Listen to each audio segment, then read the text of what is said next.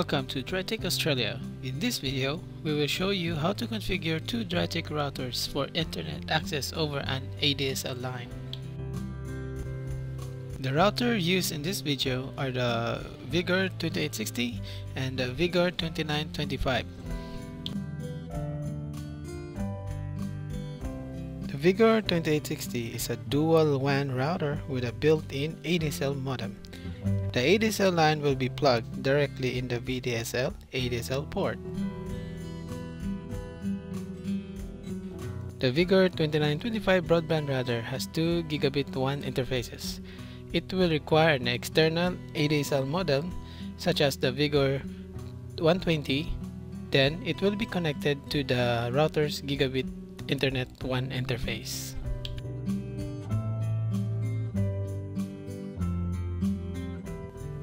We'll start with the Vigor 2860 router. The first step is to check the physical connections to the router. Ensure the power is connected. Plug in the ADSL line to the router and also connect the LAN port on your PC. Check the LED status on the router's normal operation. The ACT LED light should flash every second and the DSL LED light should be solid once it has synchronized with the ADSL. Now check your PC network connection. Once the PC is connected to the LAN port of the router, check that the computer has a valid IP address. To do this, on the PC, press both keys, Window plus R, and type CMD to access the command prompt. Once in the command prompt, type ipconfig to view the IP address of the computer.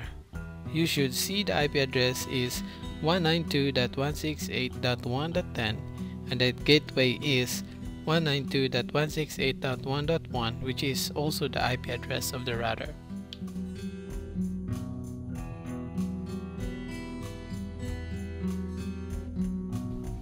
Once your PC is connected, log into the router. Open the browser, type on the URL the IP address of the router 192.168.1.1, enter the default username admin and the password admin. Then click the login button.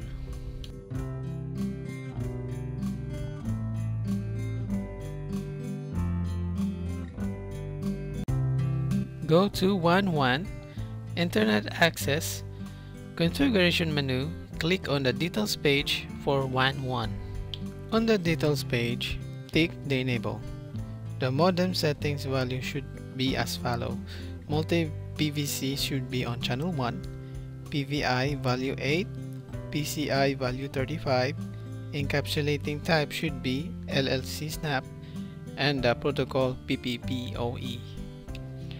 On the ISP access setup section, enter the username and password provided by your service provider. Then click OK to save the configuration. Then the router will now reboot.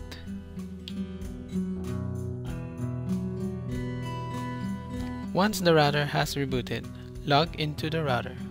Go to Online Status, Physical Connection, check that the 11 letter is green. This means that the PPP authentication is successful and now the router has internet access.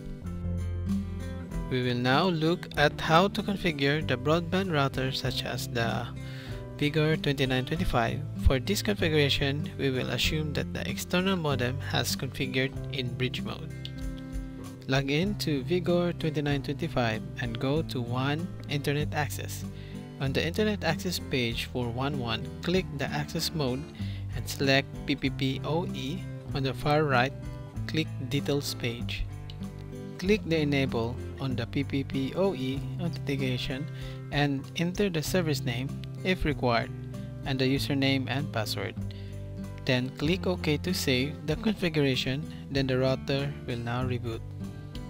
Once the router has rebooted, log into the router. Check the internet connection by going to online status, then physical connection. Check that for 1-1 letter are all colored green. This means that the authentication is successful and the internet is connected. Thank you for watching. For more information, please visit our website www.draytek.com.au or you can send an email to sales at.